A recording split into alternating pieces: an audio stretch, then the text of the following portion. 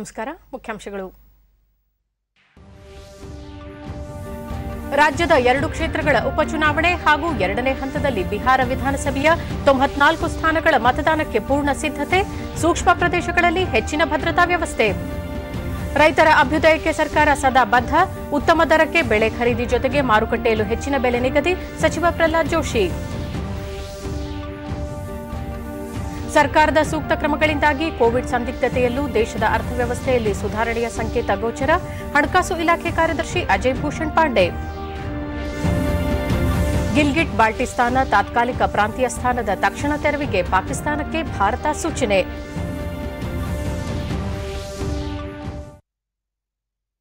ವಾರ್ತೆಗಳ ವಿವರ. ಶಿರಾ ಹಾಗೂ ರಾಜರಾಜೇಶ್ವರಿ ನಗರ ವಿಧಾನಸಭಾ ಕ್ಷೇತ್ರಗಳಿಗೆ ನಾಳೆ ಉಪಚುನಾವಣೆ ನಡೆಯಲಿದ್ದು, ಮುಕ್ತ ಹಾಗೂ ನ್ಯಾಯಸಮ್ಮತ ಮತದಾನಕ್ಕಾಗಿ ಜಿಲ್ಲಾಡಳಿತ ಸಕಲ ಸಿದ್ದತೆಗಳನ್ನು ಮಾಡಿಕೊಂಡಿದೆ. ಇಂದು ಬೆಳಗ್ಗೆಯಿಂದಲೇ ಮಸ್ಟರಿಂಗ್ ಸೆಂಟರ್ಗಳನ್ನು ತೆರೆಯಲಾಗಿದ್ದು, ಮತಯಂತ್ರಗಳನ್ನು ಸಂಬಂಧಿಸಿದ ಮತಗಟ್ಟೆಗಳಿಗೆ ತೆಗೆದುಕೊಂಡು ಸಿಬ್ಬಂದಿಗಳು ತೆರಳುತ್ತಿದ್ದಾರೆ. ಕೋವಿಡ್ ಹತ್ತೊಂಬತ್ತು ಸಾಂಕ್ರಾಮಿಕ ರೋಗದ ಹಿನ್ನೆಲೆಯಲ್ಲಿ ಸಾಕಷ್ಟು ಮುಂಜಾಗ್ರತೆ ವಹಿಸಲಾಗಿದೆ.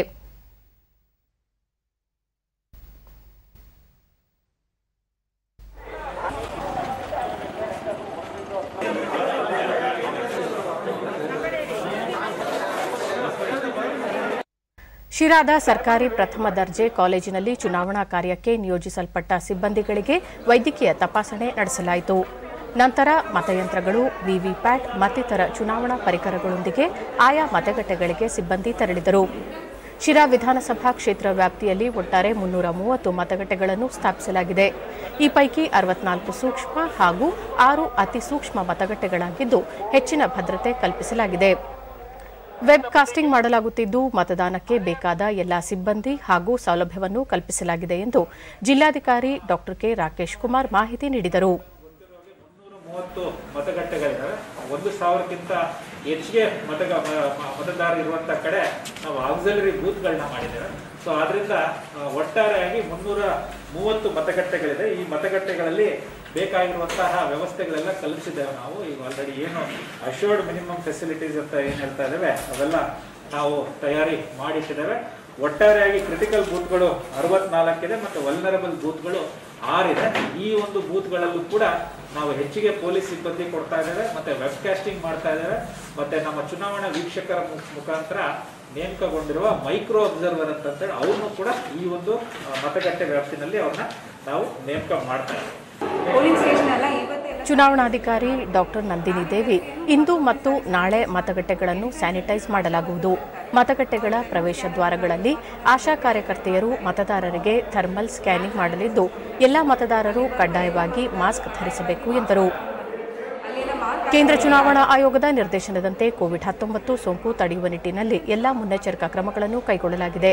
ಪ್ರತಿ ಮತಗಟ್ಟೆಗೂ ಒಬ್ಬ ಆರೋಗ್ಯಾಧಿಕಾರಿಯನ್ನು ನೇಮಕ ಮಾಡಿದ್ದು, ಮಾಸ್ಕ್, ಸ್ಯಾನಿಟೈಸರ್ ಮತ್ತು ಕೈಗವಸು ನೀಡಲಾಗುತ್ತಿದೆ ಎಂದು ತಿಳಿಸಿದರು. ಜಿಲ್ಲಾ ಪೊಲೀಸ್ ವರಿಷ್ಠಾಧಿಕಾರಿ ಡಾಕ್ಟರ್ ಕೆ ವಂಶೀಕೃಷ್ಣ ಮತದಾನಕ್ಕಾಗಿ ಸೂಕ್ತ ಪೊಲೀಸ್ ಭದ್ರತೆ ಒದಗಿಸಲಾಗಿದೆ. ಕೇಂದ್ರ ಪಡೆಯ ಮೂರು ತುಕಡಿಗಳು ಸೇರಿದಂತೆ ಒಟ್ಟಾರೆ ಒಂಬೈನೂರು ಮಂದಿ ಭದ್ರತಾ ಸಿಬ್ಬಂದಿಯನ್ನು ನಿಯೋಜಿಸಲಾಗುತ್ತಿದೆ ಎಂದು ತಿಳಿಸಿದರು. ಬಂದಿದ್ದಾರೆ ಹೋಟೆಲ್. ಸೊ ಈಗಾಗಲೇ ಅವರು ಆಲ್ಮೋಸ್ಟ್ ಒಂದು five days complete route marches ಎಲ್ಲ ಮಾಡಿದ್ದಾರೆ. ಏರಿಯಾ ಡಾಮಿನೇಷನ್ ಎಕ್ಸಸೈಸ್ ಎಲ್ಲ ಮಾಡಿದ್ದಾರೆ. ನಾವು ಮತ್ತು ಡಿ ಸಿ ಅವರು ಸೇರಿ ಕಾನ್ಫಿಡೆನ್ಸ್ ಬಿಲ್ಡಿಂಗ್ ಮೆಜರ್ಸ್ ಮಾಡಿದ್ವಿ ಇಲ್ಲಿ ವಲ್ನರಬಲ್ ಏರಿಯಾಸಲ್ಲಿ ಯಾವುದೇ ಥರ ಇಂಟಿಮಿಡೇಷನ್ ಇರಬಾರ್ದು ಅಂತೇಳಿ ಅವರಿಗೆ ಧೈರ್ಯ ತುಂಬಿ ಅವ್ರಿಗೆ ಮೀಟಿಂಗ್ಸ್ ಮಾಡಿದ್ವಿ ಅದೇ ಥರ ಡಿ ಎಸ್ ಪಿ ಅವರು ಮತ್ತು ಎ ಸಿ ಅವರು ಕೂಡ ಅವ್ರಿಗೆ ಮೀಟಿಂಗ್ಸ್ ಮಾಡಿದ್ದಾರೆ. ರಾಜರಾಜೇಶ್ವರಿ ನಗರ ವಿಧಾನಸಭಾ ಕ್ಷೇತ್ರದಲ್ಲಿ ಎಂಬತ್ತೆರಡು ಸೂಕ್ಷ್ಮ ಹಾಗೂ ಐನೂರ ತೊಂಬತ್ತಾರು ಸಾಮಾನ್ಯ ಮತಗಟ್ಟೆಗಳಿವೆ. ಇವುಗಳಿಗೆ ಹೆಚ್ಚಿನ ಪೊಲೀಸ್ ಭದ್ರತೆ ಒದಗಿಸಲಾಗಿದೆ ಎಂದು ನಗರ ಜಿಲ್ಲಾ ಚುನಾವಣಾಧಿಕಾರಿಯೂ ಆಗಿರುವ ಬಿಬಿಎಂಪಿ ಆಯುಕ್ತ ಎಂ ಮಂಜುನಾಥ್ ಪ್ರಸಾದ್ ತಿಳಿಸಿದ್ದಾರೆ.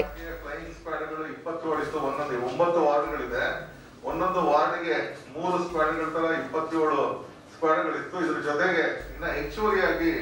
ಒಂಬತ್ತು ತಂಡಗಳನ್ನ ನಾವು ಈಗ ಈ ನಿನ್ನೆಯಿಂದ ಇದನ್ನ ಶುರು ಮಾಡಿದ್ದೇವೆ ಅದೇ ರೀತಿ ವಿ ಎಸ್ ಟಿ ತಂಡಗಳು ಅದು ನಾಲ್ಕಿತ್ತು.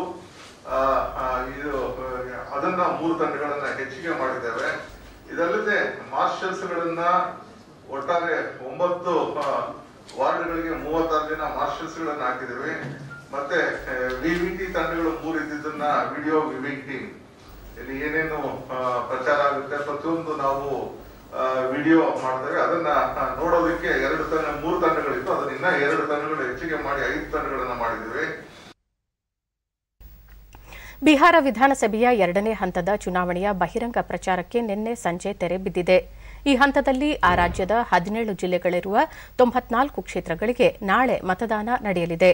ಪಾಟ್ನಾ, ವೈಶಾಲಿ, ಸೀತಾಮರಿ ದರ್ಬಾಂಗ್ ಮತ್ತು ಮಧುಬನಿ ಸಹ ಇದರಲ್ಲಿ ಸೇರಿವೆ. ಒಟ್ಟು ಎರಡು ಪಾಯಿಂಟ್ ಎಂಟು ಆರು ಕೋಟಿಗೂ ಅಧಿಕ ಮತದಾರರು, ನೂರ ನಲವತ್ತಾರು ಮಹಿಳೆಯರು ಒಳಗೊಂಡಂತೆ ಒಟ್ಟು ಒಂದು ಸಾವಿರದ ನಾನೂರ ಅರವತ್ಮೂರು ಉಮೇದುವಾರರ ಭವಿಷ್ಯವನ್ನು ನಿರ್ಧರಿಸಲಿದ್ದಾರೆ. ನಾಳೆ ಬೆಳಗ್ಗೆ ಏಳು ಗಂಟೆಯಿಂದ ಸಂಜೆ ಆರು ಗಂಟೆಯವರೆಗೆ ಮತದಾನ ನಡೆಯಲಿದ್ದು, ರಘೋಪುರ್, ಪಾರು, ಮಣಿಪುರ್ ಮತ್ತು ಅಲೌರಿ ಸೇರಿದಂತೆ ನಕ್ಸಲ್ ಪೀಡಿತ ಪ್ರದೇಶಗಳಲ್ಲಿ ಮಾತ್ರ ಸಂಜೆ ನಾಲ್ಕರವರೆಗೆ ಮತದಾನಕ್ಕೆ ಅವಕಾಶ ಕಲ್ಪಿಸಲಾಗಿದೆ. ಇಲ್ಲಿ ಬಿಜೆಪಿ ನಲವತ್ತೈದು ಸ್ಥಾನಗಳಿಗೆ ಸ್ಪರ್ಧಿಸಿದ್ದರೆ ಅದರ ಮೈತ್ರಿಕೂಟದ ಜೆಡಿಯು ಪಕ್ಷ ನಲವತ್ಮೂರು ಸ್ಥಾನಗಳಿಗೆ ತನ್ನ ಅಭ್ಯರ್ಥಿಗಳನ್ನು ಕಣಕ್ಕಿಳಿಸಿದೆ.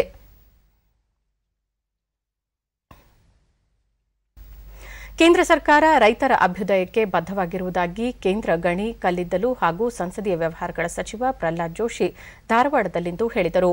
ಯುಪಿಎ ಸರ್ಕಾರ ಇದ್ದಾಗ ರೈತರು ಬೆಳೆದ ಬೆಳೆಗಳಿಗೆ ಅತ್ಯಂತ ಕಡಿಮೆ ದರದ ಬೆಂಬಲ ಬೆಲೆಯನ್ನು ನೀಡಲಾಗಿತ್ತು.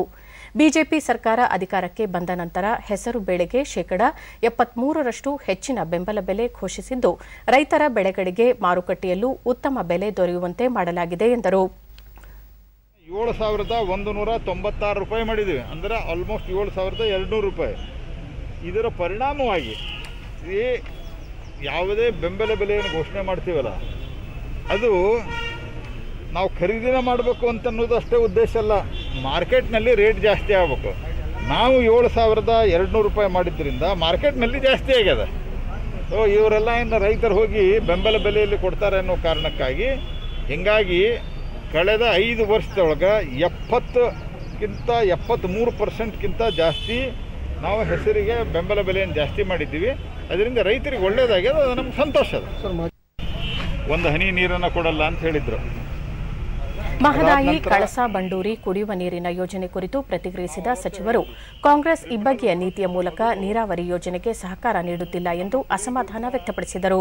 ಒಂದು ಮಿನಿಮಮ್ ಕುಡಿಯುವ ನೀರಿಗೆ ಡೈವರ್ಟ್ ಮಾಡಬೇಕು ಅದನ್ನು ಅಲೋ ಮಾಡಿ ಅಟ್ಲೀಸ್ಟ್ ಕಳಸಾ ಬಂಡೂರಿ ಇದೇನು ಡೈವರ್ಷನ್ ನ್ಯಾಚುರಲ್ ಡೈವರ್ಷನ್ ಇದನ್ನು ಅದನ್ನು ಅಲೋ ಮಾಡಿ, ಉಳಿದ ಟ್ರಿಬ್ಯುನಲ್ ಕೊಡ್ರಿ, ಉಳಿದ ಟ್ರಿಬ್ಯುನಲ್ ಡಿಸಿಷನ್ಗೆ ನಾವು ಬದ್ಧರಾಗಿರ್ತೀವಿ ಅಂತ.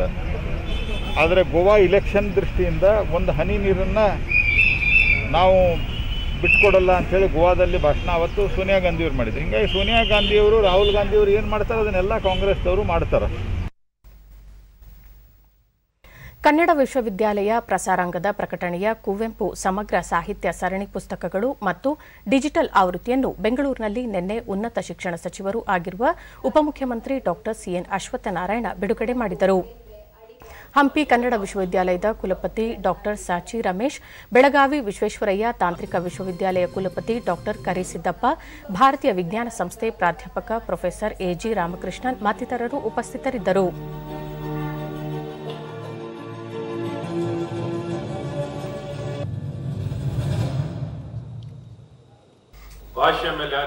ಬಳಿಕ ಡಾಕ್ಟರ್ ಅಶ್ವತ್ಥನಾರಾಯಣ ನೂತನ ರಾಷ್ಟ್ರೀಯ ಶಿಕ್ಷಣ ನೀತಿಯಲ್ಲಿ ಕಡ್ಡಾಯವಾಗಿ ಸ್ಥಳೀಯ ಭಾಷೆಗೆ ಆದ್ಯತೆ ನೀಡಲಾಗುತ್ತಿದೆ. ಮೂರರಿಂದ ಆರನೇ ವಯಸ್ಸಿನಲ್ಲಿ ಶೇಕಡಾ ಎಂಬತ್ತೈದರಷ್ಟು ಕಲಿಕಾ ಸಾಮರ್ಥ್ಯವಿದ್ದು ರಾಷ್ಟ್ರೀಯ ಶಿಕ್ಷಣ ನೀತಿಯಡಿಯಲ್ಲಿ ಕನಿಷ್ಠ ಮೂರು ಭಾಷೆಗಳನ್ನು ಸುಲಭವಾಗಿ ಕಲಿಯಲು ಅವಕಾಶವಿರಲಿದೆ ಎಂದರು. ನಮ್ಮ ಸರ್ಕಾರ ಕರ್ನಾಟಕದಲ್ಲಿ ಮತ್ತು ಭಾರತ ಸರ್ಕಾರ ರಾಷ್ಟ್ರೀಯ ಶಿಕ್ಷಣ ನೀತಿಯನ್ನು ತರ್ತಾ ಇದ್ದೀವಿ ಈ ರಾಷ್ಟ್ರೀಯ ಶಿಕ್ಷಣ ನೀತಿಯಲ್ಲಿ ಮುಖ್ಯವಾಗಿ ಎಲ್ಲ ಆ ಪ್ರಾಂತದ ಭಾಷೆಗಳನ್ನು ಬೆಳಿಬೇಕು, ಅವರವರ ಮಾತೃಭಾಷೆ ಬೆಳಿಬೇಕು, ಸ್ಥಳೀಯ ಭಾಷೆಗಳು ಬೆಳಿಬೇಕು ಮತ್ತು ಕಡ್ಡಾಯವಾಗಿ ಆ ಸ್ಥಳೀಯ ಭಾಷೆಯಲ್ಲಿ ಶಿಕ್ಷಣವನ್ನು ಕೊಡಬೇಕು ಅಂತ ಈಗಾಗಲೇ ನಮ್ಮ ರಾಷ್ಟ್ರೀಯ ಶಿಕ್ಷಣ ನೀತಿಯಲ್ಲಿ ಅದು ಜಾರಿಯಲ್ಲಿದೆ. ನಿವೃತ್ತ ನ್ಯಾಯಮೂರ್ತಿ ಎಜೆ ಸದಾಶಿವ ರಾಜ್ಯದಲ್ಲಿ ಎಲ್ಲಾ ವ್ಯವಹಾರಗಳು ಕನ್ನಡದಲ್ಲಿಯೇ ನಡೆಯಬೇಕು. ಕಡ್ಡಾಯವಾಗಿ ಕನ್ನಡದಲ್ಲಿಯೇ ಆರಂಭಿಕ ಶಿಕ್ಷಣ ಆಗಬೇಕು ಎಂದು ಒತ್ತಾಯಿಸಿದರು. ಈಗ ಗ್ರಾಮಾಂತರ ಪ್ರದೇಶಗಳಲ್ಲಿ ಕಾನ್ವೆಂಟ್ ಸ್ಕೂಲ್ಸ್ ಅಂತ ಇಂಗ್ಲಿಷ್ ಮಾಧ್ಯಮದಲ್ಲಿ ವಿದ್ಯಾಭ್ಯಾಸವನ್ನು ಕೊಡೋದಕ್ಕೆ ಪ್ರಾರಂಭ ಮಾಡಿದ್ದಾರೆ. ಹಳ್ಳಿಗಳಲ್ಲಿ ಈ ಕನ್ನಡ ಕಲಿಕೆಯನ್ನ ಕಡ್ಡಾಯ ಮಾಡುವವರೆಗೂ ಕನ್ನಡದ ಬೆಳವಣಿಗೆ ಸಾಧ್ಯ ಇಲ್ಲ. ಕನ್ನಡಕ್ಕೆ ಎಷ್ಟು ನಿಗದಿಯ ಮಾಡಬೇಕು ಕನ್ನಡಕ್ಕಷ್ಟು ಎಷ್ಟು ಒತ್ತಾಯ ಮಾಡಬೇಕು ಅನ್ನೋದನ್ನ ನಾನು ಕಂಡಿಲ್ಲ ಪ್ರತಿಯೊಂದು ಶಾಲೆಗಳು ಕೂಡ ಇಂಗ್ಲಿಷ್ಗೆ ಪ್ರಾಧಾನ್ಯತೆಯನ್ನು ಕೊಡ್ತಾರೆ ವಿನಃ ಕನ್ನಡಕ್ಕೆ ಪ್ರಾಧಾನ್ಯತೆಯನ್ನು ಕೊಡ್ತಾ ಇಲ್ಲ. ಹಳ್ಳಿಗಳಲ್ಲಿ ಪ್ರಾರಂಭವಾಗಿದೆ ದುರಂತ ಅಂದ್ರೆ ಹಳ್ಳಿಗಳಲ್ಲಿ ಪ್ರಾರಂಭವಾಗಿದೆ ಇದು. ಖ್ಯಾತ ಸಾಹಿತಿ ಪ್ರೊಫೆಸರ್ ಮಲ್ಲೇಪುರ ಜಿ. ವೆಂಕಟೇಶ್ ಕುವೆಂಪು ಅವರು ಇಪ್ಪತ್ತನೇ ಶತಮಾನದ ಭಾರತೀಯ ಸಾಹಿತಿಗಳಲ್ಲಿ ಮೇರು ಕವಿಯಾಗಿದ್ದರು ಎಂದು ಸ್ಮರಿಸಿದರು. ಅವರು ವಿಶ್ವಮಾನ್ಯರು. ಕುವೆಂಪು ಅವರ ಬರವಣಿಗೆಗಳನ್ನ ಸಣ್ಣದೇ ಸಂಕ್ಷಿಪ್ತ ಮಾಡಿಕೊಂಡ್ರೆ ಮಹಾಕಾವ್ಯ ಶ್ರೀರಾಮನ ದರ್ಶನ ಖಂಡಕಾವ್ಯ ಚಿತ್ರಾಂಗದ ಎರಡು ಮಹಾಕಾದಂಬರಿಗಳು ಕಾನೂರು ಹೆಗ್ಗಡಿತಿ, ಮೊದಲು ಕಾನೂರು ಸುಬ್ಬಮ್ಮ ಹೆಗ್ಗಡಿತಿ ಅಂತ ಬಂತು, ಆಮೇಲೆ ಕಾನೂರು ಹೆಗ್ಗಡಿತಿ ಆಗ್ತಾ ಇದೆ ಮಹದಾಯಿ ನದಿ ನೀರು ಯೋಜನೆ ವಿಚಾರದಲ್ಲಿ ಕಾಂಗ್ರೆಸ್ ನಿಲುವು ರಾಜ್ಯಕ್ಕೆ ಮಾರ್ಗವಾಗಿದೆ ಎಂದು ಬೃಹತ್ ಮತ್ತು ಮಧ್ಯಮ ಕೈಗಾರಿಕಾ ಸಚಿವ ಜಗದೀಶ್ ಶೆಟ್ಟರ್ ಧಾರವಾಡದಲ್ಲಿ ನಿನ್ನೆ ಆರೋಪಿಸಿದರು. ಮಹದಾಯಿ ವಿಚಾರದಲ್ಲಿ ಕಾಂಗ್ರೆಸ್ ನಾಯಕರು ಇಬ್ಬಗೆಯ ನಿಲುವು ಹೊಂದಿದ್ದು, ರಾಜ್ಯದಲ್ಲಿರುವಾಗ ಇಲ್ಲಿನಂತೆ ನಡೆದುಕೊಳ್ಳುವ ಅವರು ಗೋವಾದಲ್ಲಿ ಮಾತ್ರ ಆ ರಾಜ್ಯದ ನಿಲುವಿನಂತೆ ನಡೆದುಕೊಳ್ಳುತ್ತಾರೆ. ಎರಡೂ ರಾಷ್ಟ್ರೀಯ ಪಕ್ಷಗಳು ಈ ವಿಚಾರವಾಗಿ ಒಗ್ಗಟ್ಟಾಗಿ ಕೆಲಸ ಮಾಡಿದಾಗ ಮಾತ್ರ ವಿವಾದ ಬಗೆಹರಿಯಲಿದೆ ಎಂದರು. ಅಲ್ಲಿ ಮಾಡವಿ ನದಿ ಉಳಿಸ್ಕೊಡ್ರಿ, ಒಂದು ಹನಿ ನೀರು ಬಿಡಬೇಡ್ರಿ ಅಂತ ಹೇಳಿ ಅಲ್ಲಿ ಹೋರಾಟ ಮಾಡುವಂಥದ್ದು ಕುಮ್ಮಕ್ಕೆ ಕೊಡುವಂಥದ್ದು. ಹೀಗಾಗಿ ಇವತ್ತು ಇದು ಎಕ್ಸ್ಪೋಸ್ ಆಗಿದ್ದಾರೆ. ದಿನೇಶ್ ಗುಂಡೂರಾವರು ಏನು ಮೊನ್ನೆ ಗೋವಾಕ್ಕೆ ಹೋಗಿದ್ರು. ಗೋವಾಕ್ಕೆ ಹೋದಾಗ ಅಲ್ಲಿ ಮಾಧ್ಯಮದವರು ಕೇಳಿದಂಥ ಪ್ರಶ್ನೆಗೆ ಉತ್ತರ ಕೊಡ್ತಾರೆ. ಅಲ್ಲಿ ಗೋವಾ ಜನತೆ ಮಾದಾಯಿ ವಿಷಯಕ್ಕೆ ಸಂಬಂಧಪಟ್ಟಂತೆ ಒಂದು ಹನಿ ನೀರು ಬಿಡದೇ ಇರಲಿಕ್ಕೆ ಎಲ್ಲ ರೀತಿಯ ಹೋರಾಟ ಮಾಡಲಿ, ಅಲ್ಲಿ ಕಾಂಗ್ರೆಸ್ ಅವರು ಹೋರಾಟ ಮಾಡ್ರಿ ಅಂತ ಹೇಳಿ ಅಲ್ಲಿ ಇನ್ಸ್ಟಿಗೇಟ್ ಮಾಡಿ ಬರ್ತಾರೆ. ನೋಡಿ ಒಂದು ನಾನು ಹೇಳ್ತೀನಿ ನಂದು ಮೊದಲಿಂದ ಹೇಳ್ತಾ ಇದ್ದೇನೆ ಇವತ್ತು ಬೆಳಗಾವಿ ಲೋಕಸಭಾ ಕ್ಷೇತ್ರದ ದಿನಾಂಕ ಫಿಕ್ಸ್ ಆಗಿಲ್ಲ. ಇಲೆಕ್ಷನ್ ಬೆಳಗಾವಿ ಲೋಕಸಭಾ ಉಪಚುನಾವಣೆ ಸಂಬಂಧ ಬಿಜೆಪಿ ಪಕ್ಷದ ಅಭ್ಯರ್ಥಿಯ ಬಗ್ಗೆ ಇನ್ನೂ ಚರ್ಚೆ ನಡೆದಿಲ್ಲ ಎಂದು ಜಗದೀಶ್ ಶೆಟ್ಟರ್ ಇದೇ ವೇಳೆ ಸ್ಪಷ್ಟಪಡಿಸಿದರು. ಸಾಧ್ಯವಿಲ್ಲ ಮತ್ತು ಈ ಕ್ಷಣದವರೆಗೂ ಸಹಿತ ಬೆಳಗಾವಿ ಲೋಕಸಭಾ ಕ್ಷೇತ್ರಕ್ಕೆ ಉಪಚುನಾವಣೆಯಲ್ಲಿ ಯಾರು ಅಭ್ಯರ್ಥಿ ಆಗ್ತಾರೆ ಅನ್ನೋದ್ರ ಬಗ್ಗೆ ಪಕ್ಷದಲ್ಲಿ ಯಾವುದೇ ವೇದಿಕೆಯಲ್ಲಿ ಏನೂ ಚರ್ಚೆ ಆಗಿಲ್ಲ. ಸರ್ಕಾರದಿಂದ ಸಮಯಕ್ಕೆ ಅನುಸಾರವಾಗಿ ಕೈಗೊಳ್ಳಲಾದ ಕ್ರಮಗಳಿಂದಾಗಿ ದೇಶದ ಅರ್ಥವ್ಯವಸ್ಥೆಯಲ್ಲಿ ನಿರಂತರವಾಗಿ ಸುಧಾರಣೆಯ ಸಂಕೇತ ಕಂಡುಬಂದಿದೆ ಎಂದು ಕೇಂದ್ರ ಹಣಕಾಸು ಇಲಾಖೆ ಕಾರ್ಯದರ್ಶಿ ಅಜಯ್ ಭೂಷಣ್ ಪಾಂಡೆ ತಿಳಿಸಿದ್ದಾರೆ. ಕೋವಿಡ್ ಹತ್ತೊಂಬತ್ತರ ನಂತರ ಬಹುತೇಕ ಕ್ಷೇತ್ರಗಳಲ್ಲಿ ಎಂದಿನ ಸ್ಥಿತಿಗೆ ಮರಳುತ್ತಿರುವ ಆಶಾಭಾವನೆ ಮೂಡಿದೆ. ಕೋವಿಡ್ ಹತ್ತೊಂಬತ್ತು ಮಹಾಮಾರಿ ಸಂಪೂರ್ಣವಾಗಿ ಇನ್ನೂ ನಿರ್ಮೂಲನೆಯಾಗದಿದ್ದರೂ ಸಹ ಅರ್ಥವ್ಯವಸ್ಥೆಯಲ್ಲಿ ಮಾತ್ರ ಸುಧಾರಣೆಯ ಲಕ್ಷಣ ಕಂಡುಬರುತ್ತಿದೆ ಎಂದು ಅವರು ಹೇಳಿದ್ದಾರೆ. ವಿವಿಧ ಹಂತಗಳಲ್ಲಿ ವಿವಿಧ ಕ್ಷೇತ್ರಗಳಿಗೆ ಸಂಬಂಧಿಸಿದಂತೆ ಕೇಂದ್ರ ಸರ್ಕಾರ ತೆಗೆದುಕೊಂಡ ಉಪಯುಕ್ತ ಕ್ರಮಗಳಿಂದಾಗಿ ಈ ಬೆಳವಣಿಗೆ ಕಂಡುಬಂದಿದೆ ಎಂದು ತಿಳಿಸಿದ ಅವರು, ಕೋವಿಡ್ ಹತ್ತೊಂಬತ್ತು ಪರಿಣಾಮ ಕೂಡ ತಗ್ಗಲಾರಂಭಿಸಿದೆ. ಲಾಕ್ಡೌನ್ ವೇಳೆ ಸರ್ಕಾರ ಜನರಿಗೆ ಆಹಾರ ಮತ್ತು ಹಣಕಾಸಿನ ನೆರವು ಸೇರಿದಂತೆ ಅನೇಕ ರೀತಿಯಲ್ಲಿ ಸಹಾಯ ಹಸ್ತ ಚಾಚಿದ್ದು ಗಮನಾರ್ಹವಾಗಿತ್ತು ಎಂದು ಅಜಯ್ ಭೂಷಣ್ ಪಾಂಡೆ ಹೇಳಿದ್ದಾರೆ. पूरा लॉकडाउन था लोग अपने नौकरी पे जा नहीं पा रहे थे। जो डेली वेज जो कमा रहे थे रोज जो दिन का जो जिनको मजदूरी मिलती थी वो कमा नहीं पा रहे थे। तो ये निर्णय ले लिया गया कि उनके हाथ में कुछ कैश देना चाहिए। तो प्रधानमंत्री जनधन योजना के तहत जो 20 करोड़ जो जो स्त्री जो बैंक धारक हैं उनके अकाउंट में पैसे भेजे गए। उसी तरीके से आ, किसान योजना के तहत जो पैसे उनको भेजे जाने थे वो इंस्टॉलमेंट हमने जल्दी भेज दिए। ರಾಷ್ಟ್ರೀಯ ಜಲ್ ಜೀವನ್ ಅಭಿಯಾನದ ಸಹಯೋಗದಲ್ಲಿ ನಾಳೆ ವಿಡಿಯೋ ಕಾನ್ಫರೆನ್ಸ್ ಮೂಲಕ ಎಲ್ಲ ರಾಜ್ಯಗಳು ಹಾಗೂ ಕೇಂದ್ರಾಡಳಿತ ಪ್ರದೇಶಗಳ ಗ್ರಾಮೀಣ ನೀರು ಪೂರೈಕೆ ಸಚಿವರುಗಳ ವರ್ಚುವಲ್ ಸಮಾವೇಶ ಆಯೋಜಿಸಲಾಗಿದೆ. ಈ ಅಭಿಯಾನವನ್ನು ಅತ್ಯಂತ ವೇಗವಾಗಿ, ವ್ಯಾಪಕವಾಗಿ ಹಾಗೂ ಕೌಶಲ್ಯಯುತವಾಗಿ ಅನುಷ್ಠಾನಗೊಳಿಸುವ ಸಂಬಂಧ ವಿವಿಧ ವಿಷಯಗಳ ಕುರಿತು ಸಮಾವೇಶದಲ್ಲಿ ಚರ್ಚೆ ನಡೆಸಲಾಗುತ್ತದೆ. ದೇಶದ ಪ್ರತಿಯೊಂದು ಮನೆಗೂ ನಿಗದಿತ ಪ್ರಮಾಣದಲ್ಲಿ ಗುಣಮಟ್ಟದ ನೀರು ಪೂರೈಕೆ ಖಾತರಿಪಡಿಸುವುದು ಜಲ್ ಜೀವನ್ ಅಭಿಯಾನದ ಉದ್ದೇಶವಾಗಿದೆ. ಕೇಂದ್ರ ಜಲಶಕ್ತಿ ಸಚಿವ ಗಜೇಂದ್ರ ಸಿಂಗ್ ಶೇಖಾವತ್ ಅವರು ಗ್ರಾಮೀಣ ಪ್ರದೇಶದ ಶಾಲೆಗಳು ಹಾಗೂ ಅಂಗನವಾಡಿ ಕೇಂದ್ರಗಳಿಗೆ ಕೊಳವೆ ಮೂಲಕ ನೀರು ಪೂರೈಸಲು ಆರಂಭಿಸಲಾಗಿರುವ ನೂರು ದಿನಗಳ ಕಾರ್ಯಕ್ರಮ ಹಾಗೂ ಜಲ್ಜೀವನ್ ಅನುಷ್ಠಾನ ಸಂಬಂಧ ರಾಜ್ಯಗಳ ಸಚಿವರುಗಳೊಂದಿಗೆ ಸಂವಾದ ನಡೆಸಲಿದ್ದಾರೆ. ಗಿಲ್ಗಿಟ್ ಬಾಲ್ಟಿಸ್ತಾನ್ ವಲಯಕ್ಕೆ ಪ್ರಾಂತ್ಯ ಸ್ಥಾನಮಾನ ನೀಡುವ ಪಾಕಿಸ್ತಾನದ ಹೇಳಿಕೆಯನ್ನು ಭಾರತ ತೀವ್ರವಾಗಿ ಖಂಡಿಸಿದೆ. ಬದಲಾಗಿ ಈ ವಲಯವನ್ನು ತಕ್ಷಣ ತೆರವುಗೊಳಿಸುವಂತೆ ಪಾಕಿಸ್ತಾನಕ್ಕೆ ಸೂಚಿಸಿದೆ. ಪಾಕಿಸ್ತಾನದ ಪ್ರಧಾನಮಂತ್ರಿ ಇಮ್ರಾನ್ ಖಾನ್ ಅವರು ಗಿಲ್ಗಿಟ್ ಬಾಲ್ಟಿಸ್ತಾನ್ ವಲಯಕ್ಕೆ ಪ್ರಾಂತೀಯ ಸ್ಥಾನಮಾನ ನೀಡುವುದಾಗಿ ಹೇಳಿದ ಬೆನ್ನಲ್ಲೇ ಭಾರತದ ವಿದೇಶಾಂಗ ವ್ಯವಹಾರಗಳ ಸಚಿವಾಲಯ ಈ ಬಗ್ಗೆ ತೀವ್ರವಾಗಿ ಪ್ರತಿಕ್ರಿಯೆ ನೀಡಿದೆ. ವಿದೇಶಾಂಗ ವ್ಯವಹಾರಗಳ ಸಚಿವಾಲಯದ ವಕ್ತಾರ ಅನುರಾಗ್ ಶ್ರೀವಾಸ್ತವ ಅಕ್ರಮವಾಗಿ ವಶದಲ್ಲಿಟ್ಟುಕೊಂಡಿರುವ ಈ ಪ್ರಾಂತ್ಯದಲ್ಲಿ ಬದಲಾವಣೆ ಮಾಡಲು ಪಾಕಿಸ್ತಾನಕ್ಕೆ ಯಾವುದೇ ಅಧಿಕಾರವಿಲ್ಲ ಎಂದು ಹೇಳಿದ್ದಾರೆ. ಗಿಲ್ಗಿಟ್, ಬಾಲ್ಟಿಸ್ತಾನ್ ಸೇರಿದಂತೆ ಜಮ್ಮು ಕಾಶ್ಮೀರ ಹಾಗೂ ಲಡಾಖ್ ಭಾರತದ ಅವಿಭಾಜ್ಯ ಅಂಗವಾಗಿವೆ. ಸಾವಿರದ ಒಂಬೈನೂರ ನಲವತ್ತೇಳರಲ್ಲಿಯೇ ಇವು ಭಾರತಕ್ಕೆ ಸೇರಿವೆ. ಭಾರತಕ್ಕೆ ಸೇರಿರುವ ಭೂಭಾಗದಲ್ಲಿ ಪಾಕಿಸ್ತಾನ ಯಾವುದೇ ಬದಲಾವಣೆ ಮಾಡುವುದನ್ನು ಭಾರತ ತೀವ್ರವಾಗಿ ಖಂಡಿಸುತ್ತದೆ. ಅದರ ಬದಲಿಗೆ ಪಾಕಿಸ್ತಾನ ತಕ್ಷಣವೇ ಅಲ್ಲಿಂದ ತೆರಳಬೇಕು ಎಂದು ಅವರು ಹೇಳಿದ್ದಾರೆ. ವಿದೇಶಗಳಲ್ಲಿ ಸಿಲುಕಿರುವ ಭಾರತೀಯರನ್ನು ಸ್ವದೇಶಕ್ಕೆ ಕರೆತರುವ ವಂದೇ ಭಾರತ್ ಅಭಿಯಾನದಡಿ ಈವರೆಗೆ ಇಪ್ಪತ್ತೊಂಬತ್ತು ಪಾಯಿಂಟ್ ಒಂದು ಲಕ್ಷ ಭಾರತೀಯರು ಇದರ ಪ್ರಯೋಜನ ಪಡೆದಿದ್ದಾರೆ ಎಂದು ಕೇಂದ್ರ ನಾಗರಿಕ ವಿಮಾನಯಾನ ಸಚಿವ ಹರ್ದೀಪ್ ಸಿಂಗ್ ಪುರಿ ತಿಳಿಸಿದ್ದಾರೆ. ಈ ಕುರಿತು ಸರಣಿ ಟ್ವೀಟ್ ಮಾಡಿರುವ ಅವರು, ನಿನ್ನೆ ಒಂದೇ ದಿನ ವಿವಿಧ ದೇಶಗಳಿಂದ ಐದು ಸಾವಿರದ ಒಂಬೈನೂರ ತೊಂಬತ್ತು ಭಾರತೀಯರು ಸ್ವದೇಶಕ್ಕೆ ಆಗಮಿಸಿದ್ದಾರೆ. ಮೇ ಆರರಿಂದ ಆರಂಭಗೊಂಡಿರುವ ವಂದೇ ಭಾರತ್ ಅಭಿಯಾನದಿಂದ ಹೆಚ್ಚು ಭಾರತೀಯರಿಗೆ ಅನುಕೂಲವಾಗಿದೆ ಎಂದು ಅವರು ಹೇಳಿದ್ದಾರೆ. ಕೆನಡಾದ ಟೊರಾಂಟೊ, ಅಮೆರಿಕಾದ ನೆವಾ, ಚಿಕಾಗೋ ಸೇರಿದಂತೆ Kuwait, Dubai, Abu Dhabi, London, Sharjah ಮುಂತಾದ ನಗರಗಳಿಂದ ಭಾರತೀಯರನ್ನು ಸ್ವದೇಶಕ್ಕೆ ಕರೆತರಲಾಗಿದೆ. ಈ ಸಂಬಂಧ ಇನ್ನೂ ಹಲವು ದೇಶಗಳೊಂದಿಗೆ ತಾತ್ಕಾಲಿಕ ಒಪ್ಪಂದ ಮಾಡಿಕೊಳ್ಳುವ ಮೂಲಕ ಭಾರತೀಯರನ್ನು ಕರೆತರುವ ಕಾರ್ಯ ಮುಂದುವರೆಯಲಿದೆ ಎಂದು ಅವರು ತಿಳಿಸಿದ್ದಾರೆ.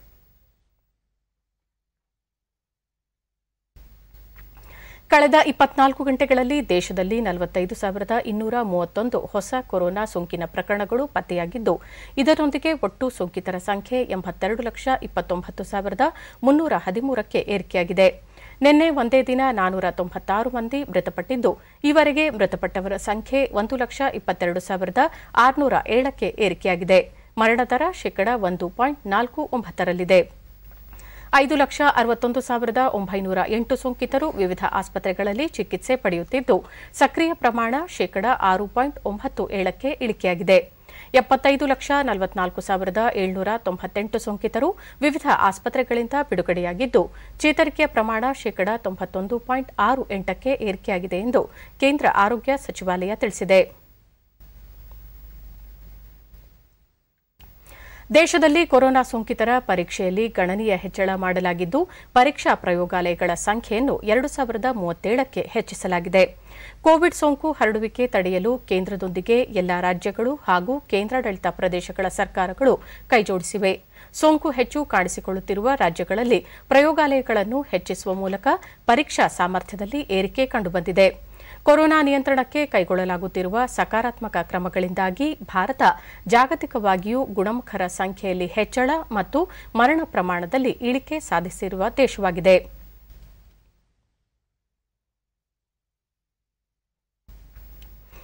ದೆಹಲಿಯಲ್ಲಿ ಕೊರೋನಾ ವೈರಸ್ ಪ್ರಕರಣಗಳು ಹೆಚ್ಚುತ್ತಿರುವ ಹಿನ್ನೆಲೆಯಲ್ಲಿ ಕೇಂದ್ರ ಗೃಹ ಇಲಾಖೆ ಕಾರ್ಯದರ್ಶಿ ಅಜಯ್ ಕುಮಾರ್ ಭಲ್ಲಾ ಇಂದು ದೆಹಲಿ ಸರ್ಕಾರದ ಪ್ರತಿನಿಧಿಗಳು ಹಾಗೂ ಸಂಬಂಧಿಸಿದ ಇಲಾಖೆಗಳ ಹಿರಿಯ ಅಧಿಕಾರಿಗಳೊಂದಿಗೆ ಕೋವಿಡ್ ಹತ್ತೊಂಬತ್ತು ಪರಿಸ್ಥಿತಿ ಕುರಿತು ಪರಾಮರ್ಶೆ ನಡೆಸುತ್ತಿದ್ದಾರೆ. ಕಳೆದ ಒಂದು ವಾರದಲ್ಲಿ ದೆಹಲಿಯಲ್ಲಿ ಸೋಂಕು ಪ್ರಕರಣಗಳು ಹೆಚ್ಚುತ್ತಿರುವ ಹಿನ್ನೆಲೆಯಲ್ಲಿ ಕೈಗೊಳ್ಳಬಹುದಾದ ಮುನ್ನೆಚ್ಚರಿಕಾ ಕ್ರಮಗಳ ಕುರಿತು ಚರ್ಚೆ ನಡೆಸಲಾಗುತ್ತದೆ. ವೈದ್ಯಕೀಯ ಸೌಲಭ್ಯಗಳು, ಚಿಕಿತ್ಸಾ ವಿಧಾನ, ಪರೀಕ್ಷಾ ಸಾಮರ್ಥ್ಯ, ಸೋಂಕಿತರಿಗೆ ಹಾಸಿಗೆಗಳ ವ್ಯವಸ್ಥೆ ಸೇರಿದಂತೆ ಅನೇಕ ವಿಷಯಗಳ ಕುರಿತು ಪರಾಮರ್ಶೆ ನಡೆಯುತ್ತಿದೆ. ಜನತೆ ಕಡ್ಡಾಯವಾಗಿ ಮಾಸ್ಕ್ ಧರಿಸುವುದು ಹಾಗೂ ವ್ಯಕ್ತಿಗತ ಅಂತರ ಕಾಯ್ದುಕೊಳ್ಳುವುದು ಸೇರಿದಂತೆ ಇತರ ನಿಯಮಗಳ ಪಾಲನೆಗೆ ಒತ್ತು ನೀಡುವುದರ ಕುರಿತು ಅಜಯ್ ಕುಮಾರ್ ಭಲ್ಲಾ ಅವರು ಅಧಿಕಾರಿಗಳೊಂದಿಗೆ ಚರ್ಚಿಸಿ ಸೂಕ್ತ ಕ್ರಮ ಕೈಗೊಳ್ಳಲಿದ್ದಾರೆ. ಕೋವಿಡ್ ಹತ್ತೊಂಬತ್ತು ಲಸಿಕೆ ವಿತರಣೆ ಕುರಿತು ಕೇಂದ್ರ ಸರ್ಕಾರ ಸಿದ್ದತೆ ಆರಂಭಿಸಿದೆ. ಲಸಿಕೆ ವಿತರಣೆಗೆ ಸಂಬಂಧಿಸಿ ಮೂರು ಸ್ತರದ ವ್ಯವಸ್ಥೆ ರೂಪಿಸುವಂತೆ ರಾಜ್ಯಗಳಿಗೆ ಸೂಚನೆ ನೀಡಿದೆ. ಜೊತೆಗೆ ಸಂಬಂಧಪಟ್ಟ ಸಮಿತಿಗಳು ಆರೋಗ್ಯ ಕಾರ್ಯಕರ್ತರ ದತ್ತಾಂಶ ಸಂಗ್ರಹ ರೂಪಿಸುವಂತೆಯೂ ಸಲಹೆ ನೀಡಿದೆ. ಸಂಭಾವ್ಯ ಫಲಾನುಭವಿಗಳ ದತ್ತಾಂಶ ಸೃಷ್ಟಿಸುವುದು ಸಾಮಾಜಿಕ ಹಾಗೂ ಭೌಗೋಳಿಕ ಪ್ರಾತಿನಿಧ್ಯದ ಮೇಲೆ ಲಸಿಕೆ ನೀಡುವ ಬಗ್ಗೆ ವ್ಯವಸ್ಥೆ ನಿರ್ಮಿಸಲು ನಿರ್ದೇಶನ ನೀಡಿದೆ. ದೇಶಾದ್ಯಂತ ಕೋವಿಡ್ ಹತ್ತೊಂಬತ್ತು ಲಸಿಕೆಗೆ ಭಾರಿ ಬೇಡಿಕೆ ನಿರ್ಮಾಣವಾಗಿದೆ. ಆದರೆ ಆರಂಭಿಕವಾಗಿ ಮಿತ ಪ್ರಮಾಣದ ಲಸಿಕೆ ಲಭ್ಯವಾಗುವುದರಿಂದ ವಿತರಣೆ ಹಾಗೂ ಪೂರೈಕೆ ಕುರಿತು ಸಿದ್ದತೆ ಆರಂಭಿಸಲಾಗಿದೆ ಎಂದು ಮೂಲಗಳು ತಿಳಿಸಿವೆ. ವಿಶ್ವ ಆರೋಗ್ಯ ಸಂಸ್ಥೆಯ ಮುಖ್ಯಸ್ಥ ಟೆಡ್ರೋಸ್ ಅದನೋಮ್ ಸ್ವಯಂ ಕ್ವಾರಂಟೈನ್ಗೆ ಒಳಗಾಗಿದ್ದಾರೆ. ಇದನ್ನು ಅವರು ಸ್ವತಃ ಟ್ವಿಟರ್ನಲ್ಲಿ ಬಹಿರಂಗಪಡಿಸಿದ್ದಾರೆ. ಕೋವಿಡ್ ಹತ್ತೊಂಬತ್ತು ಸೋಂಕಿತ ವ್ಯಕ್ತಿಯ ಸಂಪರ್ಕಕ್ಕೆ ಬಂದಿರುವ ಹಿನ್ನೆಲೆಯಲ್ಲಿ ಕ್ವಾರಂಟೈನ್ಗೆ ಒಳಗಾಗುತ್ತಿರುವುದಾಗಿ ಅವರು ಹೇಳಿದ್ದಾರೆ. ತಮಗೆ ಯಾವುದೇ ಲಕ್ಷಣಗಳಿಲ್ಲ, ಆದರೂ ಮುನ್ನೆಚ್ಚರಿಕೆಯಾಗಿ ಪ್ರತ್ಯೇಕವಾಗಿರಲು ನಿರ್ಧರಿಸಿರುವುದಾಗಿ ಅವರು ತಿಳಿಸಿದ್ದಾರೆ. ದೇಶದಲ್ಲಿ ವ್ಯಾಪಾರ ವಹಿವಾಟುಗಳು ಚೇತರಿಸಿಕೊಳ್ಳುತ್ತಿರುವ ಪರಿಣಾಮವಾಗಿ ಕಳೆದ ಅಕ್ಟೋಬರ್ ತಿಂಗಳಲ್ಲಿ ಒಂದು ಪಾಯಿಂಟ್ ಐದು ಲಕ್ಷ ಕೋಟಿ ರೂಪಾಯಿ ಜಿಎಸ್ಟಿ ಸಂಗ್ರಹವಾಗಿದೆ ಎಂದು ಕೇಂದ್ರ ಹಣಕಾಸು ಸಚಿವಾಲಯ ಮಾಹಿತಿ ನೀಡಿದೆ. ಫೆಬ್ರವರಿ ತಿಂಗಳ ಬಳಿಕ ಇದೇ ಮೊದಲ ಬಾರಿಗೆ ಒಂದು ಲಕ್ಷ ಕೋಟಿ ರೂಪಾಯಿಗೂ ಅಧಿಕ ಜಿಎಸ್ಟಿ ಸಂಗ್ರಹವಾಗಿದೆ ಎಂದು ಹಣಕಾಸು ಸಚಿವಾಲಯ ತಿಳಿಸಿದೆ. ಅಂತಾರಾಜ್ಯ ವಹಿವಾಟಿನ ಜಿಎಸ್ಟಿ ಸಂಗ್ರಹ ಹತ್ತೊಂಬತ್ತು ಸಾವಿರದ ನೂರ ತೊಂಬತ್ಮೂರು ಕೋಟಿ ರೂಪಾಯಿಗಳಾಗಿದ್ದು, ರಾಜ್ಯಗಳ ಜಿಎಸ್ಟಿ ಇಪ್ಪತ್ತೈದು ಸಾವಿರದ ನಾನ್ನೂರ ಹನ್ನೊಂದು ಕೋಟಿ ರೂಪಾಯಿ ಹಾಗೂ ಕೇಂದ್ರೀಕೃತ ಜಿಎಸ್ಟಿ ಎರಡು ಸಾವಿರದ ಐನೂರ ನಲವತ್ತು ಕೋಟಿ ರೂಪಾಯಿ ಹಾಗೂ ಸೆಸ್ ಎಂಟು ಸಾವಿರದ ಹನ್ನೊಂದು ಕೋಟಿ ರೂಪಾಯಿ ಸಂಗ್ರಹವಾಗಿದೆ ಎಂದು ಸಚಿವಾಲಯ ತಿಳಿಸಿದೆ.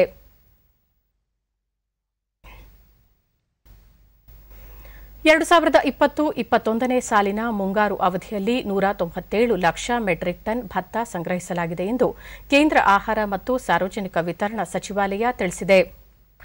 ಭತ್ತ ಸಂಗ್ರಹದಲ್ಲಿ ಕಳೆದ ಬಾರಿಗಿಂತ ಈ ಬಾರಿ ಶೇಕಡ ಇಪ್ಪತ್ಮೂರು ಪಾಯಿಂಟ್ ನಾಲ್ಕು ಮೂರರಷ್ಟು ಹೆಚ್ಚಳವಾಗಿದೆ. ಕಳೆದ ವರ್ಷ ಇದೇ ಅವಧಿಯಲ್ಲಿ ನೂರ ಐವತ್ತೊಂಬತ್ತು ಪಾಯಿಂಟ್ ಏಳು ಆರು ಲಕ್ಷ ಮೆಟ್ರಿಕ್ ಟನ್ ಭತ್ತ ಸಂಗ್ರಹ ಮಾಡಲಾಗಿತ್ತು.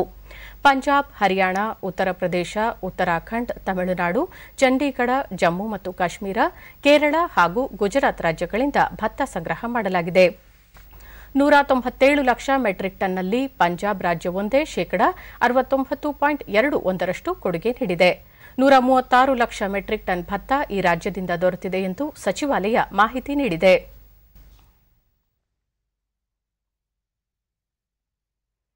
ರೈತರು ಬೆಳೆದ ಬೆಳೆಗಳನ್ನು ಪಕ್ಷಿಗಳಿಂದ ರಕ್ಷಿಸಲು ಹಲವು ಕ್ರಮಗಳನ್ನು ಅನುಸರಿಸುತ್ತಾರೆ.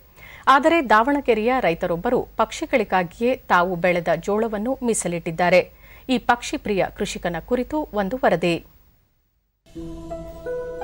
ಹಸಿದವರಿಗೆ ಆಹಾರ ನೀಡುವುದು ಎಲ್ಲ ದಾನಗಳಿಗಿಂತಲೂ ಶ್ರೇಷ್ಠ ದಾನ ಎಂದು ಪರಿಗಣಿತವಾಗಿದೆ.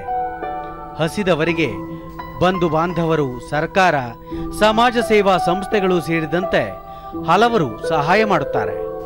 ಆದರೆ ಪ್ರಾಣಿ ಪಕ್ಷಿಗಳಿಗೆ ಆಹಾರ ಒದಗಿಸುವುದು ಅತಿ ವಿರಳ. ರೈತರು ತಮ್ಮ ಬೆಳೆ ಕಾಪಾಡಲು ಬೆರ್ಚಪ್ಪ ನಿಲ್ಲಿಸುವುದು ಸೇರಿದಂತೆ ಹಲವು ವಿಧಾನಗಳನ್ನು ಅನುಸರಿಸುತ್ತಾರೆ. ದಾವಣಗೆರೆ ಜಿಲ್ಲೆಯ ರೈತರೊಬ್ಬರು ಇದಕ್ಕೆ ವ್ಯತಿರಿಕ್ತವಾಗಿ ತಮ್ಮ ಬೆಳೆಯನ್ನೇ ಪಕ್ಷಿಗಳಿಗೆ ನೀಡುತ್ತಿದ್ದಾರೆ. ದಾವಣಗೆರೆ ತಾಲೂಕಿನ ಬಿಸಲೇರಿ ಗ್ರಾಮದ ರೈತ ಸಂಕೋಳ್ ಚಂದ್ರಶೇಖರ್ ಸಾವಿರಾರು ಪಕ್ಷಿಗಳಿಗಾಗಿ ತಾವು ಬೆಳೆದ ಜೋಳವನ್ನು ಬಿಟ್ಟಿದ್ದು ಎಲ್ಲರ ಮೆಚ್ಚುಗೆಗೆ ಪಾತ್ರರಾಗಿದ್ದಾರೆ. ತಮ್ಮ ಮೂರು ಎಕರೆ ಅಡಿಕೆ ತೋಟದಲ್ಲಿ ಜೋಳ ಬಿತ್ತನೆ ಮಾಡಿ ಅದನ್ನು ಪಕ್ಷಿಗಳಿಗಾಗಿಯೇ ಮೀಸಲಿಟ್ಟಿದ್ದಾರೆ. ಪ್ರತಿನಿತ್ಯ ಆಹಾರ ಅರಸಿ ಬರುವ ಸಾವಿರಾರು ಪಕ್ಷಿಗಳು ಅವರ ತೋಟಕ್ಕೆ ಬಂದು ಜೋಳ ತಿಂದು ಸಂತಸದಿಂದ ಚಿಲಿಪಿಲಿಗುಟ್ಟುತ್ತವೆ. ಗ್ರಾಮಸ್ಥರು ಇವರ ಪಕ್ಷಿ ಪ್ರೀತಿ ಕಂಡು ಮೆಚ್ಚುಗೆ ವ್ಯಕ್ತಪಡಿಸುತ್ತಿದ್ದಾರೆ. ಡಿಡಿ ನ್ಯೂಸ್ನೊಂದಿಗೆ ರೈತ ಉಮೇಶ್. ಚಂದ್ರಶೇಖರ್ ಅವರು ಜೋಳ ಬಿತ್ತನೆ ಮಾಡಲು ಆರಂಭಿಸಿದಾಗ ಬೆಳೆ ಪಕ್ಷಿಗಳ ಪಾಲಾಗುವುದಾಗಿ ಎಚ್ಚರಿಕೆ ನೀಡಿದ್ದೆವು. ಆದರೆ ಚಂದ್ರಶೇಖರ್ ಅವರು ಪಕ್ಷಿಗಳಿಗಾಗಿಯೇ ಜೋಳ ಬಿತ್ತನೆ ಮಾಡುತ್ತಿರುವುದಾಗಿ ಹೇಳಿದರು. ಈಗ ಹಲವಾರು ಪಕ್ಷಿಗಳು ಅವರ ಹೊಲದಲ್ಲಿ ಜೋಳ ತಿನ್ನುತ್ತಾ ಚಿಲಿಪಿಲಿ ಗುಟ್ಟುತ್ತಿರುವುದನ್ನು ನೋಡಿದರೆ ಸಂತಸವಾಗುತ್ತದೆ ಎಂದರು. ನಾವು ಅವಾಗ ಹೇಳಿದ್ವಿ, ಇವ್ರಿಗೆ ಹಾಕ್ಬೇಡ್ರಿ ಮೋರೆ ಬತ್ ಭಾಳ ಗುಬ್ಬಿ ಕಾಟ ಭಾಳ ಕತ್ತಿ, ಗಗಲ್ ಜೋಳ ಸುಮ್ಮನೆ ಅಂತಂದ್ರೆ ಅವರು ಇಲ್ಲ ಪ್ರಾಣಿ ಪಕ್ಷಿಗೆ ಹಾಕೋಣ ತಳಪ ಅಂತ ಹೇಳಿ ಹಾಕಿರ ಅವರು.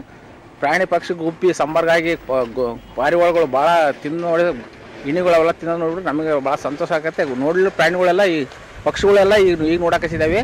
ನೆಕ್ಸ್ಟ್ ನಾವು ಒಂದು ಸ್ವಲ್ಪ ಹಾಕಿ, ನಾವು ಒಂದು ಸ್ವಲ್ಪ ಪಕ್ಷಿಗಳಿಗೆ ಹಾಕೋಣ ಅಂತ ನಾವು ಹುಲುಸಾಗಿ ಬೆಳೆದ ಅಡಿಕೆ ತೋಟದಲ್ಲಿ ಗಿಳಿ, ಪಾರಿವಾಳ, ಗುಬ್ಬಿ ಇತ್ಯಾದಿ ಹತ್ತಾರು ವಿಧದ ಪಕ್ಷಿಗಳು ಸ್ವಚ್ಛಂದವಾಗಿ ವಿಹರಿಸುತ್ತಿವೆ. ಚಂದ್ರಶೇಖರ್ ಅವರ ಪತ್ನಿ ಮಮತಾ ಸಂಕೋಳ್ ದೂರ ಪ್ರದೇಶಗಳಿಂದ ಹಾರಿ ಬರುವ ಪಕ್ಷಿಗಳು ಜೋಳ ತಿನ್ನುವುದನ್ನು ನೋಡಿದರೆ ಮನಸ್ಸಿಗೆ ನೆಮ್ಮದಿ ಎನಿಸುತ್ತದೆ ಎನ್ನುತ್ತಾರೆ. ಅದರಲ್ಲಿ ಮೂರು ಎಕರೆನೂ ಜೋಳ ಹಾಕಿದ್ದೇವೆ. ಅದು ಅಕ್ಕಿ ಪಕ್ಷಿಗಳು ಅಷ್ಟು ತಿಂದೋಗಿದ್ದಾವೆ. ಅದು ಅವರು ಆಶೀರ್ವಾ ಅವು ತಿಂದೋಗಿದವಳ್ರಿ ಅವು ಅವು ಆಶೀರ್ವಾದ ಮಾಡಿರೋದೇ ಸಾಕ್ರಿ. ರೈತ ಸಂಕೋಳ್ ಚಂದ್ರಶೇಖರ್ ಕೇವಲ ಎಂಬತ್ತೈದು ದಿನಗಳಲ್ಲಿ ಉತ್ತಮ ಜೋಳದ ಬೆಳೆ ಬಂದಿದೆ. ಅದನ್ನು ಪಕ್ಷಿಗಳ ಆಹಾರಕ್ಕಾಗಿಯೇ ಮೀಸಲಾಗಿಟ್ಟಿದ್ದು ನಿರೀಕ್ಷೆಗೂ ಮೀರಿ ಪಕ್ಷಿಗಳು ಬಂದು ಜೋಳವನ್ನು ತಿನ್ನುವುದನ್ನು ನೋಡಿದಾಗ ತಮ್ಮ ಕೆಲಸ ಸಾರ್ಥಕ ಎಂಬ ಭಾವ ಮೂಡುತ್ತದೆ ಎಂದು ಸಂತಸ ವ್ಯಕ್ತಪಡಿಸಿದರು. ನಮಗೆ ಆಶ್ಚರ್ಯ ನಾವು ಊಟದಾಗಿದ್ದ ಆ ಥರ ನಮ್ಮ ಹೊಲಗೊಳಗೆ ಅಕ್ಕಿ ಪಕ್ಷಿಗಳು ನೋಡಿದ್ದಿಲ್ಲ ಆ ಥರ ಹಿಂಡಿಂಡು ಈಗೇನು ಹಬ್ಬಗಳು ಹೆಂಗೆ ಜನಗಳು ಅಂತ ಹೋಗ್ತಾರಲ್ಲ, ಆ ಥರ ಹಬ್ಬ, ಹಬ್ಬದ ವಾತಾವರಣ ಪಕ್ಷಿಗಳಿಗೆ ನನ್ನ ಹೊಲದಲ್ಲಿ ಆಹಾರವಾಗಿ ವ್ಯವಸ್ಥೆ ಆಯಿತು. ಇದರಿಂದ ನಾ ನನಗೂ ನನ್ನ ಕುಟುಂಬದವ್ರಿಗೂ ಎಲ್ಲರಿಗೂ ಭಾಳ ಆನಂದ ಅನಿಸ್ತು. ಅನ್ನಿಸ್ತು ಇಂತಹ ಅಪರೂಪದ ಪ್ರಾಣಿ ಪಕ್ಷಿ ಪ್ರಿಯರು ಇತರರಿಗೂ ಮಾದರಿಯಾಗಲಿ.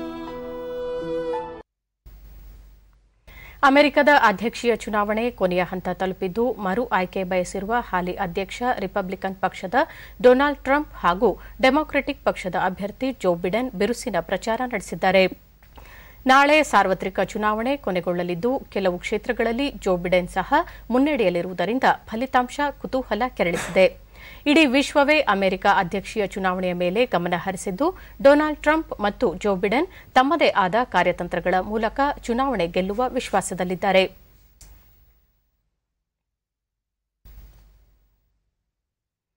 ಫಿಲಿಪೀನ್ಸ್ನಲ್ಲಿ ಅಪಾಯಕಾರಿ ಗೋನಿ ಚಂಡಮಾರುತದಿಂದ ಸಾಕಷ್ಟು ಹಾನಿಯುಂಟಾಗಿದೆ. ಪ್ರಮುಖವಾಗಿ ದಕ್ಷಿಣ ಫಿಲಿಪೀನ್ಸ್ನಲ್ಲಿ ಇದರ ತೀವ್ರತೆ ಹೆಚ್ಚಿದ್ದು, ಈವರೆಗೆ ಕನಿಷ್ಠ ಹತ್ತು ಮಂದಿ ಮೃತಪಟ್ಟಿರುವುದಾಗಿ ವರದಿಯಾಗಿದೆ. ಹಲವಾರು ಮಂದಿ ನಾಪತ್ತೆಯಾಗಿದ್ದು ಸಂಕಷ್ಟಕ್ಕೆ ಸಿಲುಕಿರುವವರ ರಕ್ಷಣಾ ಕಾರ್ಯವು ಭರದಿಂದ ಸಾಗಿದೆ. ಹಲವಾರು ನದಿಗಳು ಉಕ್ಕಿ ಹರಿಯುತ್ತಿದ್ದು ಅನೇಕ ಗ್ರಾಮಗಳು ಜಲಾವೃತಗೊಂಡಿವೆ. ಹಲವೆಡೆಗಳಲ್ಲಿ ಭೂಕುಸಿತಗಳು ಸಹ ಉಂಟಾಗಿವೆ. ಮನಿಲಾ ಅಂತಾರಾಷ್ಟೀಯ ವಿಮಾನ ನಿಲ್ದಾಣದ ಸೇವೆಯನ್ನು ಸ್ಥಗಿತಗೊಳಿಸಲಾಗಿದೆ.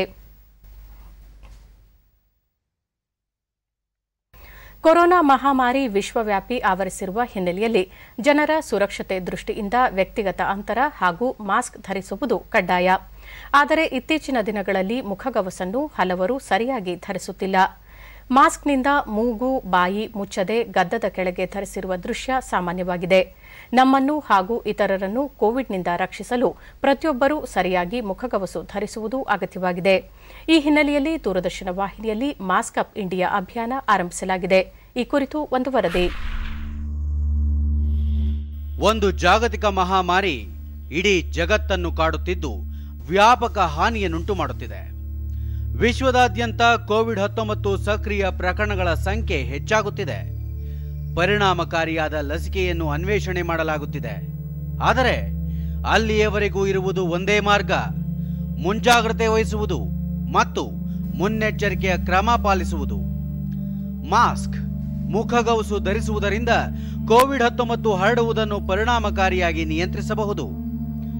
ವಿಶ್ವ ಆರೋಗ್ಯ ಸಂಸ್ಥೆ ಮತ್ತು ವಿವಿಧ ಸಂಶೋಧನೆಗಳು ಸಹ ಕೋವಿಡ್ ಹತ್ತೊಂಬತ್ತು ಹರಡುವಿಕೆಯನ್ನು ಪರಿಣಾಮಕಾರಿಯಾಗಿ ನಿಯಂತ್ರಿಸಲು ಮಾಸ್ಕ್ ಧರಿಸುವುದು ಅತಿ ಮುಖ್ಯ ಎಂದು ತಿಳಿಸಿವೆ. ಮಾಸ್ಕ್ನಿಂದ ನಿಮ್ಮನ್ನು ಕೋವಿಡ್ ಹತ್ತೊಂಬತ್ತು ಸೋಂಕಿನಿಂದ ರಕ್ಷಿಸಿಕೊಳ್ಳಲು ಸಾಧ್ಯ. ತಜ್ಞರ ಅಭಿಪ್ರಾಯ. ನೀವು ಮಾಸ್ಕ್ ಧರಿಸಿದಾಗ ನಿಮ್ಮನ್ನು ಮತ್ತು ನಿಮ್ಮ ಸುತ್ತಲಿರುವವರನ್ನು ಕೋವಿಡ್ ಹತ್ತೊಂಬತ್ತರಿಂದ ರಕ್ಷಿಸಬಹುದು या फेस कवर के घर से बाहर निकलने की अभी कल्पना करना भी सही नहीं है ಕೋವಿಡ್ ಹತ್ತೊಂಬತ್ತು ಪರಿಣಾಮಕಾರಿ ನಿಯಂತ್ರಣಕ್ಕೆ ಮಾಸ್ಕ್ ಸಹಕಾರಿ ಆದರೆ ಅದನ್ನು ಸರಿಯಾಗ ಧರಿಸಿದಾಗ ಮಾತ್ರ ನಿಯಂತ್ರಣ ಸಾಧ್ಯ ಬಾಯಿ ಮತ್ತು ಮೂಗನ್ನು ಮಾಸ್ಕ್ನಿಂದ ಸರಿಯಾಗಿ ಮುಚ್ಚಿಕೊಳ್ಳಿ ನೀವು ಡಿಡಿ ಇಂಡಿಯಾ ಜಾಗೃತಿ ಅಭಿಯಾನದ ಭಾಗವಾಗಿ ಮಾಸ್ಕ್ ಅಪ್ ಇಂಡಿಯಾ. ಮಾಸ್ಕ್ ಧರಿಸಿ. ಜೊತೆಗೆ ಬಾಯಿ ಮತ್ತು ಮೂಗನ್ನು ಮಾಸ್ಕ್ನಿಂದ ಸರಿಯಾಗಿ ಮುಚ್ಚಿಕೊಳ್ಳಿ. ಸರಿಯಾದ ಕ್ರಮದಲ್ಲಿ ಮಾಸ್ಕ್ ಧರಿಸಲು ನಿಮ್ಮ ಕುಟುಂಬದವರು ಮತ್ತು ಸ್ನೇಹಿತರಿಗೆ ತಪ್ಪದೇ ತಿಳಿಸಿ. ನೀವು ಡಿಡಿ ಇಂಡಿಯಾದ ಈ ಜಾಗೃತಿ ಅಭಿಯಾನದಲ್ಲಿ ಭಾಗಿಯಾಗಿ.